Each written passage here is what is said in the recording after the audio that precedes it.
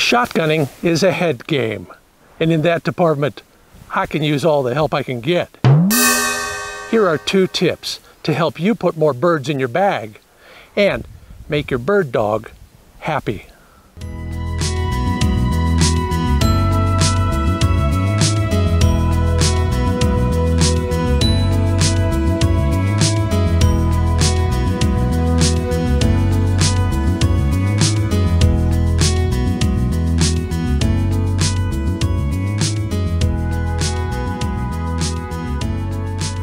Once your dog finds a bird, get your head in the game, but not your hat.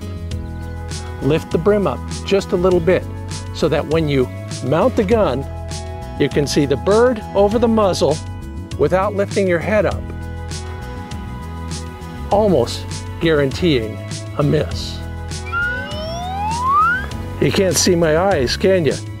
That means I can't see the bird. More, better. Whoa. On point. My dog is totally focused on the bird, drilling it with his eyes. You should do the same once it gets in the air. Focus on the beak, not the whole bird. That'll eliminate all the distractions. Hunting buddies, beautiful dog work, the scenery, it's all gone and you've got tunnel vision on that bird. It'll put them on the ground more often. Once you pull the trigger, keep the gun in your shoulder and your face on the stock, ensuring a good follow through.